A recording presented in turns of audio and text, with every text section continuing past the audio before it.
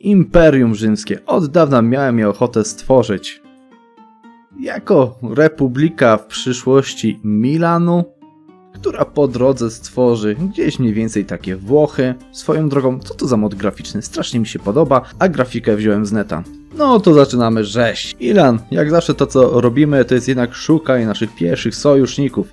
Austrii, Francji oraz jeżeli się uda to Węgier. Pierwszym celem, do którego będziemy dążyli, takim malutkim, jest utworzenie po prostu Włoch, czyli musimy posiadać następujące prowincje, które się tak świecą. O, tak. Jak widzicie, troszeczkę ich jest. Z doradców to weźmy sobie pana Jacopo, Jacopo. Tutaj weźmy doradcę dyplomatycznego oraz doradcę wojskowego. Oh my god, jaki nasz władca jest debilem. Dlatego niech dowodzi naszym wojskiem. Im szybciej umrze, tym lepiej. Bo Milan ma pewną specyficzną mechanikę. Wraz ze śmiercią tego władcy, w momencie chyba kiedy on nie ma następcy, który może wejść bardzo szybko na tron, e, zmieniamy się w republikę. Dość specyficzne, ale fajne. Pierwsze kroki to jednak znalezienie sojuszników, więc polepszajmy nasze relacje. Niestety jestem za małym krajem, żeby tutaj wyznaczyć na rywala potencjalnych, znaczy rywali moich potencjalnych sojuszników, więc Ach, będzie trochę trudniej. Naszym pierwszym celem będzie Wenecja, tutaj mogą nas wesprzeć Węgry w tej wojnie, co prawda troszeczkę innych krajów też tutaj dołączy, ale raczej nie powinno być z tym problemu. Wykonajmy sobie też oczywiście tą misję Build Up Force Limit, im wcześniej tym w sumie lepiej, bo potem znowu zapomnę. Mamy armię lekki ponad limit, co mnie bardzo zdziwiło. E, nasze wojsko jest lepsze na początku od wojska innych nacji, bo mam Infantry Combat Ability, jak widzicie tutaj. E, I w sumie nawet mamy dość niezłe te idee jako Milan, ale raczej będziemy się zamieniali dość szybko w, na idee włoskie, bo są znacznie lepsze do podbojów. No i wojska weneckie, mimo przewagi liczebnej, rozgromione. Czemu ja mam 6000 kawalerii? Przecież mam tylko dwa. Hmm. Lukę uczyniamy naszym wasalem. Też to jest jakiś cheat. 5000 wojska mojego właśnie zestackwipowało 16 tysięcy wojska przeciwnika. What the fuck? No i mamy bardzo specyficzny właśnie event dla Milanu. Możemy stać się albo Republiką Ambrozyjską, albo mieć kolejnego księcia. Ale nigdy nie grałem Republiką, dawno nie grałem Republiką, więc zróbmy to. Czemuż by nie? Weźmy tego pana, niech nam rządzi. Kapitan i obrońca Musiliano I de Valois.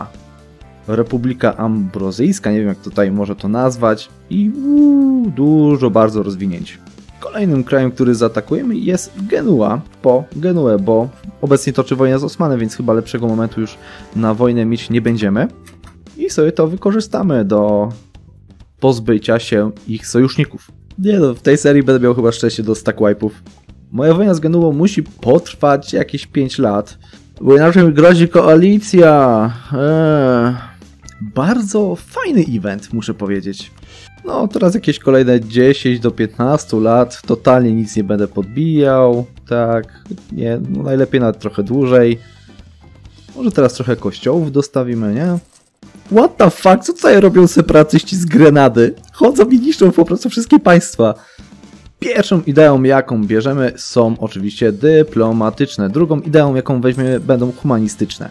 Czemu w tej kolejności? Ano, dlatego, że pamiętajcie, że bardzo szybko się odblokowuje siódmy poziom administracyjnych idei, a dodatkowo potrzebujemy improve relations obu tych idei. To będzie bardzo potężny bonus do szybkiego obniżenia agresywnego ekspansji w okolicy.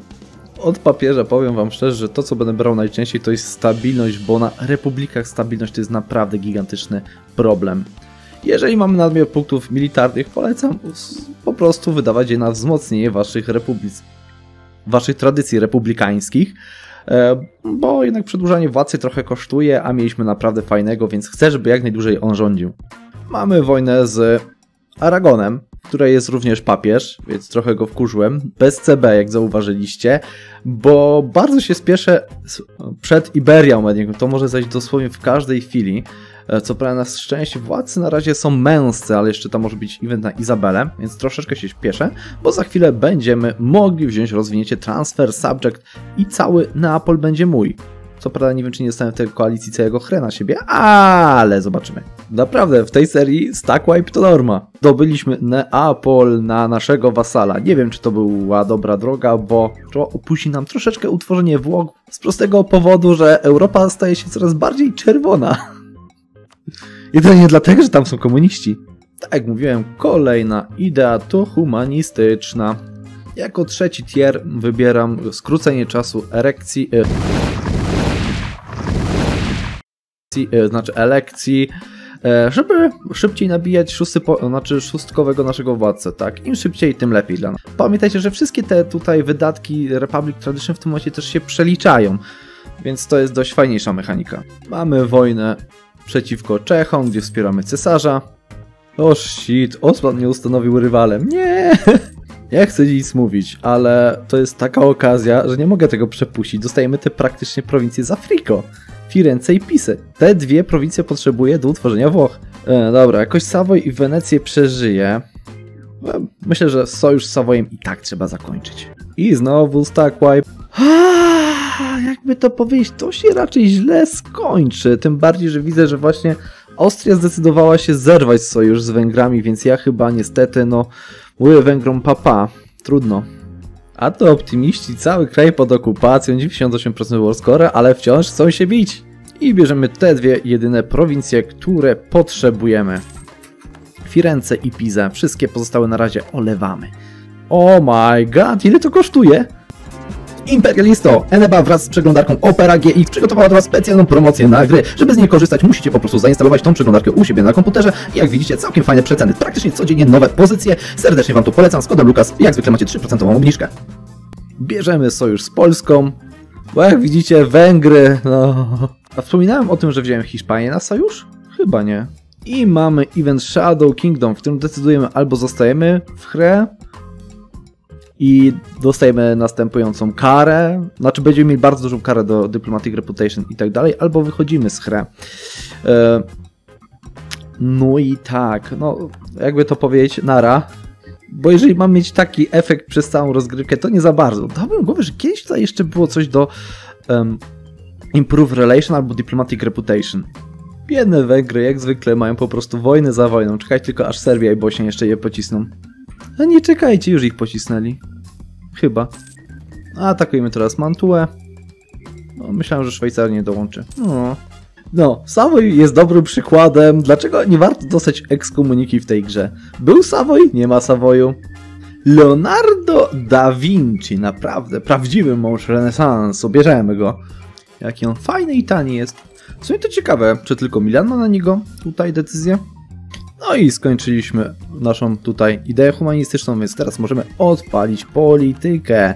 Improve Relation kolejną. Co jak widzicie, spadek agresywnej ekspansji ponosimy z 2.4 do 4.4, więc jest to wyjebiście mocny modyfikator, a on będzie jeszcze większy. Niestety tutaj mam trochę pecha miałem, bo mnie Austria wciągnęła do wojny w momencie, kiedy wybuchła nam reformacja protestancka i się rozprzestrzeniła już, jak widzicie, w trzech krajach tutaj na północy, więc cały kraj raczej będzie protestanckie. Sam też zmienię wiarę. O, w tym momencie wiara została zmieniona.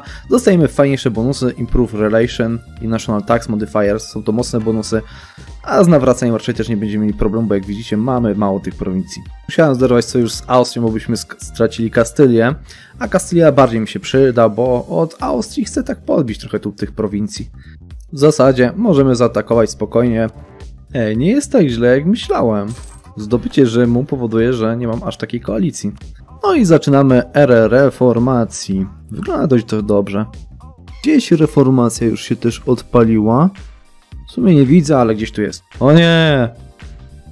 No i Włochy powstały.